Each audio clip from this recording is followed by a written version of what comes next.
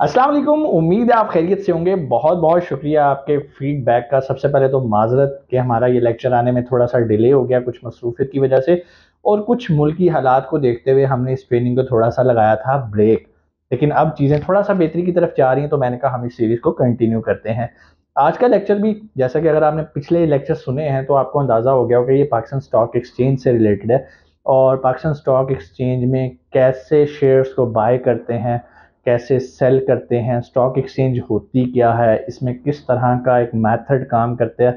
पाकिस्तान में अगर आपने अपना साइन अप करना है अकाउंट तो कैसे किया जाता है ब्रोकर्स क्या होते हैं और कितनी तरह के ब्रोकर्स पाकिस्तान में मौजूद हैं, उनकी लिस्ट कहाँ पर मौजूद है ऑनलाइन वेबसाइट पे जाके कैसे आप एक अच्छा ब्रोकर ढूंढ सकते हैं, ये सारा हम ऑलरेडी कवर कर चुके हैं पिछले लेक्चर्स के अंदर। और अगर आपने नहीं देखे तो मैं आपको यही कहूँगा कि पहले आप जाके पिछले लेक्चर सुन के आएँ फिर आप आज का लेक्चर सुनेंगे तो आपको मज़ा आएगा। लेकिन फिर भी अगर आप सुनना चाहें तो आप सुन सकते हैं, क्योंकि आज का लेक्चर थोड़ा सा डिफरेंट होने वाला है और बिगनर्स के लिए भी बहुत फ़ायदा मंद है। और वो फ़ायदा मंद क्यों है? क्योंकि आज हम देखेंगे कि पाकिस्तान स्टॉक एक्सचेंज में काम करते वक्त कुछ बेसिक टर्म्स का हमें पता होना चाहिए और वो बहुत ज़रूरी है। अगर आपको वो नहीं पता तो अगर आप किसी के हत्थे चढ़ जाते हो, किसी ब्रोकर के हत्थे चढ़ जाते हो और आपको टर्म्स नहीं पता तो लोग आपको घुमाते रहते हैं, फिराते रहते हैं और आप खुद कुछ कर ही नहीं पाते। पाकिस्तान स्टॉक एक्सचेंज के अंदर अगर आप काम करना चाहते हो तो कम से कम आपको खुद बेसिक नॉलेज इतना होना चाहिए। आपको पता होना चाहिए कितनी तरह के एनालिसिस होते हैं एनालिसिस कैसे किए जाते हैं फंडामेंटल एनालिसिस क्या होते हैं टेक्निकल एनालिसिस क्या होते हैं, ये सारी चीज़ें आप लोगों के लिए जानना ज़रूरी है एटलीस्ट बेसिक लेवल पे, ताकि आप किसी से धोखा ना खा सको और अपने फैसले खुद कर सको। आज हमारी जो क्लास है, इसके अंदर मैं आपको कुछ बेसिक टर्म्स बताऊँगा। अगर आप वो टर्म सीख लोगे तो आपको फ़ायदा होएगा। स्टॉक एक्सचेंज में अगर कोई भी आपसे बात कर रहा होगा तो आपको पता होगा कि ये टर्म्स होती क्या हैं। सबसे पहली टर्म जो हमने सीखनी है, उसको कहते हैं प्रोमोटर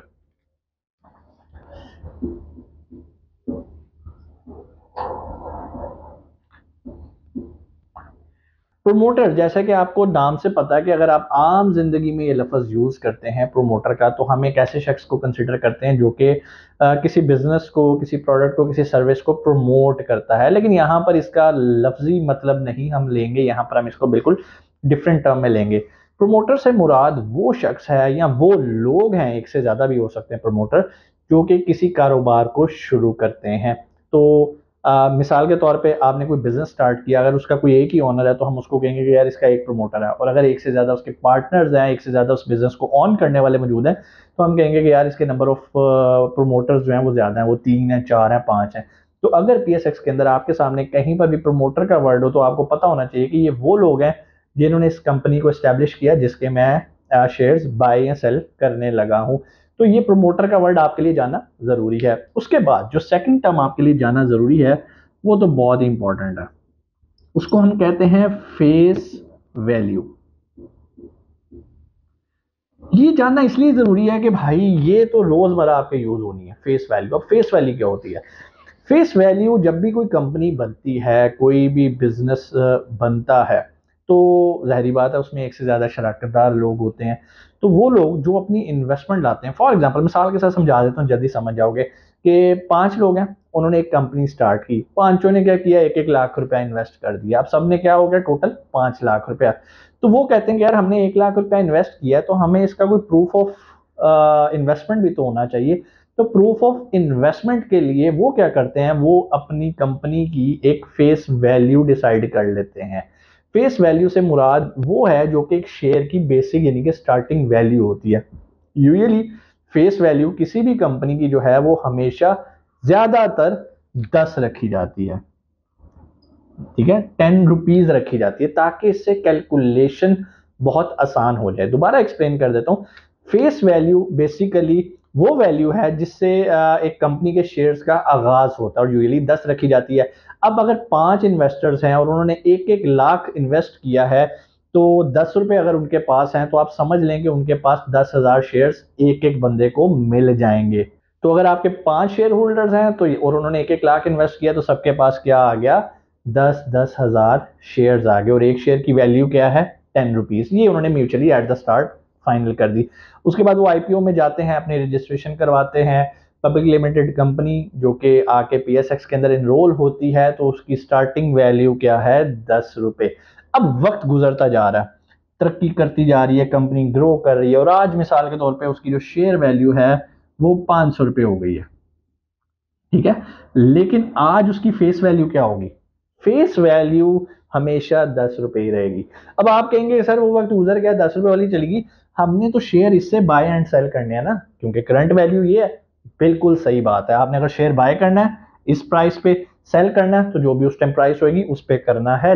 लेकिन आपको पता है ना कि भाई पी के अंदर हम दो तरीके से कमाते हैं मेन दो तरीकों से कमाते हैं। वो है कैपिटल गेन दूसरा है डिविडेंड तो जिस भी कंपनी ने डिविडेंड ऑफ़र करना होता है, वो कभी अपनी शेयर प्राइस पे नहीं ऑफ़र करती। तो वो किस पे करती है?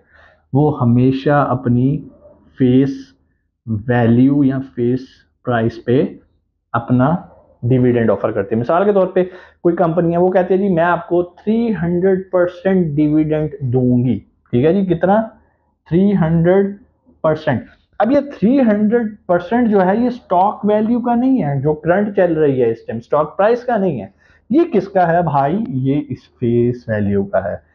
किसी का दस रुपए हो सकती है फेस वैल्यू किसी की बीस रुपए हो सकती है, पंद्रह हो सकती है, जो कि at the starting of the business सारे पार्टनर्स ने म्यूचुअली डिसाइड किया था। उम्मीद है आपको फेस वैल्यू का कॉन्सेप्ट क्लियर होगा। क्यों? आपको आए दिन डिविडेंड्स चेक करने हैं कंपनीज़ के देखने के इनकी नोटिफिकेशन आई है तो ये कितने परसेंट डिविडेंड ऑफ़र कर रहा है? मिसाल के तौर पे कोई परसेंट ऑफ़र कर रहा है कि भाई तीन तीन सौ परसेंट तो आप बड़े खुश हो जाओ और आप फॉरन कैलकुलेट करो, यार तीन सौ परसेंट पाँच सौ रुपये का कितना होता है? वाह! मैं तो भाई अभी खरीद के ना इसको यहाँ पे रख लेता हूँ। तो मैं तो रातों रात अमीर हो जाऊँगा, ऐसा कुछ नहीं है भाई। जितने परसेंट भी आपको डिविडेंड ऑफ़र किया जा रहा है, वो कहाँ पर जा रहा है, किस वैल्यू पे हो रहा है, वो फेस वैल्यू से किया जा रहा है। उसके बाद अगली टर्म जो है, बहुत ज़्यादा यूज़ की जाती है, वो है बुक वैल्यू की। अब ये बुक वैल्यू क्या होती है? आसान अल्फाज में बता देता हूँ कि भाई, जितने कंपनी के असासे हैं, वो माइनस जितने उस कंपनी के ऊपर वाजिबात हैं लाइबिलिटीज़ हैं। इसको हम कहते हैं बुक वैल्यू मिसाल के साथ समझ लेते हैं कि एक कंपनी है, जिसके पास अपनी लैंड है फॉर एग्जांपल उसकी पाँच करोड़ की लैंड है, ठीक है, और कोई पचास लाख का उसने ऊपर कंस्ट्रक्शन की हुई है, ठीक है, उसके बाद मिसाल के तौर पे उसने दस लाख का बाकी का काम किया या उसने कार्स खरीदी हैं, कोई कार ले ली है दस लाख रुपए की, और इस तरह करते करते उसने अपना एक टोटल जो उसका असासा बन गया है, या उसके पास स्टोर के अंदर इन्वेंट्री पड़ी है फॉर एग्जांपल पाँच लाख रुपए की तो ये सारी चीज़ें पाँच करोड़ पैंसठ लाख। ठीक है? ये जो है, ये जो भी इसका बनता है, ये इतना इसका क्या हो गया? एसेट ये इसके असासे हैं। अब इसमें से माइनस क्या करना है? इसके वाजिबात लाइबिलिटीज अब लाइबिलिटीज हैं क्या? मिसाल के तौर पे इन लोगों ने तीन करोड़ का कर्ज देना है, ठीक है? जो भी हो सकता है। उसके बाद इनके ऊपर कुछ और भी इनकी लेन देन है, वो भी लगा लो, कोई पचास लाख रुपए का। जो भी है, किसी भी कंपनी का, वो उसकी, उसके मुताबिक होता है। अब फॉर एग्जांपल सिर्फ़ यही है, तीन करोड़ पचास लाख लाइबिलिटी है, पाँच करोड़ पैंसठ लाख रुपया उसके असासे हैं। तो हम इस इस वैल्यू में से इसको माइनस करेंगे तो हमारे पास क्या निकल आएगी? बुक वैल्यू अब किसी भी कंपनी की अगर बुक वैल्यू आप जानना चाहते हैं तो आपने सिंपल करना है उसके एसेट्स माइनस उसकी लाइबिलिटी अब आप कहोगे, सर, मुझे कैसे पता चलेगा? तो अगर आपने मेरे पिछले लेक्चर नहीं देखे तो वो जाके देखें। उसमें मैंने आपको बताया कि कैसे आपने पी एस एक्स के पोर्टल पे जाना है और वहाँ पे जो कंपनीज़ अपनी फाइनेंशियल स्टेटमेंट्स पब्लिश करती हैं, आपने कैसे उनको जाके स्टडी करना है, कैसे आपने जज करना है। कि इस टाइम इसके एसेट्स क्या चल रहे हैं? कैसे आपने जज करना है कि इस टाइम जो है, इसके जो लाइबिलिटीज़ हैं, वो क्या चल रही हैं? और कैसे आपने किसी भी कंपनी की बुक वैल्यू निकालनी है? फिर इसके बाद एक अगला बड़ा इंपॉर्टेंट पॉइंट आता है, जो कि इंशाल्लाह हम अगली वीडियो के अंदर तफसील के साथ डिस्कस करेंगे। उसको हम कहते हैं मार्केट वैल्यू ठीक है? यहाँ पे मैं सिंपल लिख देता हूँ तफसील, इंशाल्लाह हम नेक्स्ट लेक्चर के अंदर इसको देखते हैं। मार्केट वैल्यू क्या होती है? आसान अल्फाज में थोड़ा सा एक्सप्लेन कर देता हूँ। डिटेल इंशाल्लाह हम अगली वीडियो बनाएँगे। मार्केट वैल्यू कहते हैं कि भाई, जो इस टाइम शेयर प्राइस चल रही है ना, मिसाल के तौर पर पाँच चल रही है और इसमें जितने इसको हमने मल्टीप्लाई करना है, जो एग्जिस्टिंग लाइक जो available open to buy stocks हैं, उसके साथ इसको हमने कर देना मल्टीप्लाई तो जो वैल्यू निकलेगी, उसको हम कहते हैं कि भाई, ये इस टाइम इस कंपनी की मार्केट वैल्यू है। तो ये कुछ चीज़ों से लोग कंफ्यूज हो जाते हैं कि यार बुक वैल्यू क्या होती है मार्केट वैल्यू क्या होती है फेस वैल्यू क्या होती है तो आपको ये चीज़ें पता होनी चाहिए अगर आप पी के अंदर काम कर रहे हैं। फेस वैल्यू वो है जो कंपनी स्टार्ट होते वक्त म्यूचुअली पार्टनर्स ने डिसाइड की थी। उसके बाद बुक वैल्यू होती है कि आपने अपने एसेट्स में से लाइबिलिटीज माइनस करनी है तो जो वैल्यू आएगी वो उस कंपनी की बुक वैल्यू होगी और अगर मैं मार्केट वैल्यू की बात करूँ तो आपके जितने इस टाइम अवेलेबल ओपन शेयर्स मौजूद हैं, जो कि अभी ready to available to buy और सेल हैं उसको आपने मल्टीप्लाई कर देना है किससे? उसकी जो करंट प्राइस चल रही है स्टॉक की तो आपके पास उसकी एक मार्केट वैल्यू भी आ जाएगी। उम्मीद है, यहाँ तक आपको चीज़ें समझ में आई होंगी। फिर भी कोई सवाल आप कमेंट सेक्शन में पूछ सकते हैं। इनशाला मैं कोशिश करूँगा कि ये सीरीज़ अब कंटिन्यू रहे और जितना नॉलेज मैं आपको दे सकता हूँ, वो आपको मैं देता रहूँ। बेसिकली ये कोई ऐसा कोर्स नहीं है कि यहाँ से स्टार्ट होगा, यहाँ ख़त्म होगा।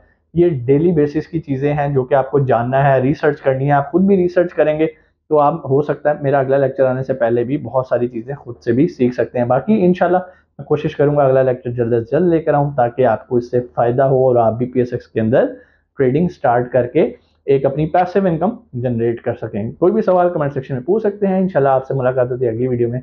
पाकिस्तान जिंदाबाद।